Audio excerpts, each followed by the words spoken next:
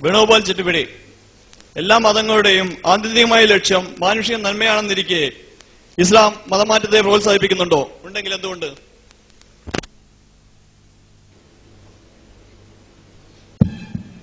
എല്ലാ മതങ്ങളുടെയും ആത്യന്തിക ലക്ഷ്യം മാനുഷികമായ നന്മയാണെന്നിരിക്കെ ഇസ്ലാം മതം മാറ്റത്തിന് പ്രോത്സാഹിപ്പിക്കുന്നുണ്ടോ? ഉണ്ടെങ്കിൽ എന്തുകൊണ്ട്?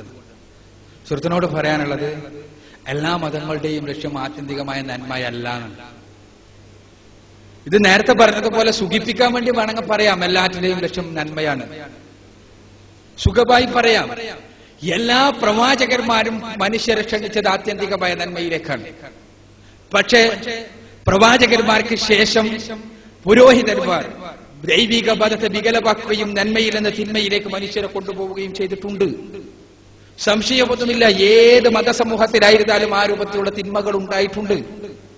ഏത് മതസമൂഹത്തിനും തിന്മകൾ ഉണ്ടായപ്പോ ആ തിന്മകൾക്ക് അനുസൃതമായ മതനിയമങ്ങൾ ഉണ്ടാകുന്ന അവസ്ഥയുണ്ടായിട്ടുണ്ട് പക്ഷേ പരിശുദ്ധ ഖുരാനും പ്രവാചകന്റെ ജീവിതചര്യയും പടച്ചതമ്പുരാൻ സംരക്ഷിച്ചത് കൊണ്ട് തന്നെ ആ പ്രമാണങ്ങളിലേക്ക് തിന്മകളുടെ പ്രവാഹം ഉണ്ടായിട്ടില്ല.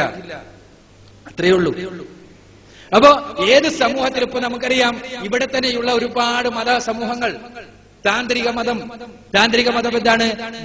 ഗ്രൂപ്പ് സെക്സ് സംഘരതിയെ ദൈവ സാക്ഷാത്കാരത്തിന്റെ മാർഗമായി കാണുന്നവരാണ്. സംഘരതിയാണ് അവരുടെ ദൈവ സാക്ഷാത്കാരത്തിന്റെ മാർഗം. അവരുടെ ദൈവാരാധനാ മുറകളൊന്നും വിശദീകരിക്കാൻ പോലും പറ്റില്ല. അത്രക്കും മ്ലേച്ഛമാണ് വൃത്തികെട്ടത് അതേപോലെ തന്നെ മറ്റേ അഘോരമതം. ഭാരതത്തിൽ തന്നെയുള്ള മറ്റൊരു മതമാണ്. ഈ അഘോരമതം അഘോരമതത്തെ സംബന്ധിച്ചിടത്തോളം വളരെ വികൃതമായ വളരെ നികൃഷ്ടമായ ആചാരങ്ങളുടെ സമുച്ചയം. ശവ പിന്നെ കുട്ടികളെയും ആൾ വലിയവരെയും എല്ലാം തട്ടിക്കൊണ്ടുപോവുകയും അവരെ ഹോമകുണ്ടത്തിൽ വെച്ച് കൊന്നുകളയുകയും ആ അങ്ങനെ അവരുടെ ശരീരം മുറിച്ചെടുത്ത് അത് ഭക്ഷിക്കുകയും അതനുസരിച്ച് പ്രത്യേകമായ ദൈവിക പൂജകൾ നടത്തുകയും ചെയ്യുന്ന ആഘോര സമ്പ്രദായം. ഇപ്പൊ എല്ലാ മതവും നല്ലതാണെന്ന് പറയാൻ പറ്റുമോ? പറയാൻ പറ്റില്ല. അവിടെ നമ്മളുടെ അടിസ്ഥാനപരമായ കാര്യം മതം എന്താവണം? ദൈവികമാകണം. എങ്കിൽ മാത്രമേ അതിന് പൂർണമായ അർത്ഥത്തിലുള്ള മാനവികത പ്രദാനം ചെയ്യാൻ പറ്റൂ. ഇപ്പൊ ഭാരതത്തിൽ തന്നെ ഉണ്ടായ ഗ്രന്ഥങ്ങൾ ഇപ്പൊ മനുസ്മൃതിയിലുള്ള പരാമർശങ്ങൾ നൂറ് ശതമാനം മാനവികമാണെന്ന് പറയാൻ സാധ്യമല്ല മനുസ്മൃതിയെ മൊത്തത്തിൽ വിമർശിക്കുകയല്ല ഞാൻ. കാരണം ഭാരതത്തിന്റെ ചരിത്രത്തിൽ പ്രത്യേകമായ ചാതുർവർണ വ്യവസ്ഥയിൽ അധിഷ്ഠിതമായ ഒരു സാമൂഹ്യ സംവിധാനത്തിലുള്ള സാമൂഹ്യ നിയമങ്ങളാണ് മനുസ്മൃതിയിൽ പറയുന്നത്.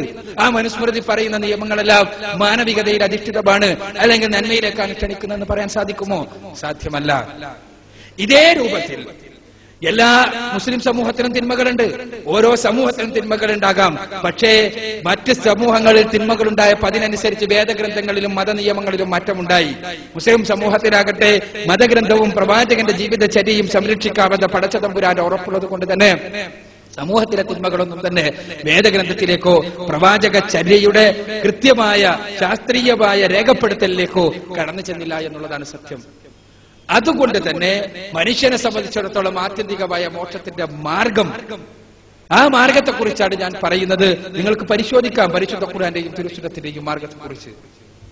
അതേസമയം മതം മാറ്റം ഇസ്ലാം പ്രോത്സാഹിപ്പിക്കുന്നുണ്ടോ എന്നാണ് സുഹൃത്തിന്റെ ചോദ്യം. ഇസ്ലാം പറയുന്നത് മതം മാറ്റത്തെ കുറിച്ചല്ല മനം മാറ്റത്തെ കുറിച്ചാണ് മതം മാറ്റമല്ല ഇസ്ലാം പറയുന്നത് മനം മാറ്റമാണ്. ആ മനം മാറ്റം ഉണ്ടാകുമ്പോൾ ജീവിതത്തിന് മാറ്റമുണ്ടാകും. ഇന്നലെ വരെ മദ്യപിച്ചിരുന്ന ഒരു വ്യക്തി അയാൾക്ക് മദ്യപാനം തെറ്റാടി എന്നും അത് പടച്ചതമ്പുരാൻ നിഷിദ്ധമാക്കിയതാടി എന്നും ബോധ്യപ്പെടുമ്പോ അയാൾ മാറുന്നു.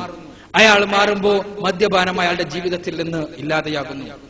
ഇന്നലെ വരെ ബഹുദൈവാരാധന നടത്തിയിരുന്ന ഒരു വ്യക്തി ബഹുദൈവാരാധന തെറ്റടിയെന്നും അത് ശരിയല്ല എന്നും ബോധ്യപ്പെടുമ്പോ ഏകദൈവാദർശത്തിലേക്ക് വരുന്നു. അയാളുടെ ജീവിതത്തിൽ മാറ്റമുണ്ടാകുന്നു. ഇന്നലെ വരെ വ്യഭിചാരിയായിരുന്ന ഒരു വ്യക്തി അത് തെറ്റാടി എന്നും പഴചതമ്പുരാനിൽ ശിക്ഷ ലഭിക്കുന്ന പ്രവർത്തനമാണ് എന്ന് മനസ്സിലാക്കുമ്പോൾ അതിൽ നിന്ന് മാറി ദിവ്യ ദൈവികമായ മാർഗദർശനത്തിലേക്ക് വരുന്നു. അപ്പോൾ അയാളുടെ ജീവിതത്തിൽ മാറ്റമുണ്ടാകുന്നു. ഈ മാറ്റമാണ് മതം മാറ്റം കൊണ്ട് ഉദ്ദേശിക്കുന്നതെങ്കിൽ എല്ലാവരും ദൈവിക മാർഗദർശന പ്രകാരമുള്ള മാറ്റത്തിന് വിധേയമാകണമെന്നുള്ളതാണ് ഇസ്ലാമിന്റെ സിദ്ധാന്തം. അതേസമയം കേവലം എന്തെങ്കിലും ഭൗതികമായ പ്രലോഭനങ്ങളുടെ അടിസ്ഥാനത്തിൽ ഒരു ദിവസം ഇങ്ങോട്ട് ചാടുക അടുത്ത ദിവസം അങ്ങോട്ട് ചാടുക. ആയിരം റുപ്യ നിങ്ങൾ വരുമെങ്കിൽ നിങ്ങളുടെ മതത്തിൽ എനിക്ക് മെമ്പർഷിപ്പ് ആയിരത്തി പത്ത് റുപ്യ തന്നാൽ മറ്റൊടുത്തേക്ക് ഞാൻ പോകും. എന്നുള്ള രീതിയിലുള്ള പ്രലോഭനങ്ങളുടെ അടിസ്ഥാനത്തിലോ അതല്ലെങ്കിൽ ഭൗതികമായ എന്തെങ്കിലും താല്പര്യങ്ങളുടെ അടിസ്ഥാനത്തിലോ ഉള്ള മാറ്റത്തെ പ്രോത്സാഹിപ്പിക്കുന്നേ ഇല്ല ഇസ്ലാം. ഇസ്ലാം പഠിപ്പിക്കുന്നത് എന്നാണ്. ഖുർആനിലെ രണ്ടാം അധ്യായം സൂറത്തുൽ ബഖറയിലെ ഇരുന്നൂറ്റി അൻപത്തി ആറാമത്തെ വചനം. മതത്തിൽ യാതൊരു പ്രലോഭനവുമില്ല യാതൊരു നിർബന്ധവുമില്ല. മതത്തിലേക്ക് ഒരാളെയും പ്രലോഭിപ്പിച്ച് നിർബന്ധിച്ചുകൊണ്ട് ചേർത്തണമെന്ന് ഇസ്ലാം പഠിപ്പിക്കുന്നില്ല. മറിച്ച് എന്താണ് ആളുകളെ സന്മാർഗത്തെ ദുർമാർഗത്തെ എന്ന് വേർതിരിച്ച് കാണിച്ചു കൊടുക്കുക. ആർക്കെങ്കിലും സ്വീകരിക്കണമെങ്കിൽ സ്വീകരിക്കുവാനുള്ള സ്വാതന്ത്ര്യം ഉണ്ടാകണം അതുകൊണ്ട് തന്നെ ഇസ്ലാം ജീവിതത്തെ അടിസ്ഥാനപരമായി ദൈവിക മാർഗദർശന പ്രകാരം പരിവർത്തിപ്പിക്കണം എന്ന് മനുഷ്യരോട് ആഹ്വാനം ചെയ്യുന്നു.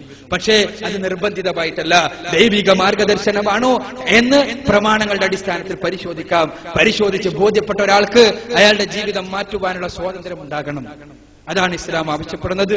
അത് ഏത് മനുഷ്യന്റെയും ജന്മാവകാശപാട് അയാൾ ചിന്തിച്ച് മനസ്സിലാക്കി കാര്യങ്ങൾ അപഗ്രഥിച്ചുകൊണ്ട് അയാൾ എത്തിച്ചേർന്ന നിഗമനത്തിൽ ഉറച്ചു നിൽക്കുവാനുള്ള ജന്മാവകാശപാട് ആ അവകാശം അനുവദിക്കപ്പെടണം എന്ന് തന്നെയാണ് ഇസ്ലാം പഠിപ്പിക്കുന്നത് എന്നാണ് ഞാൻ സൂചിപ്പിക്കുന്നത്.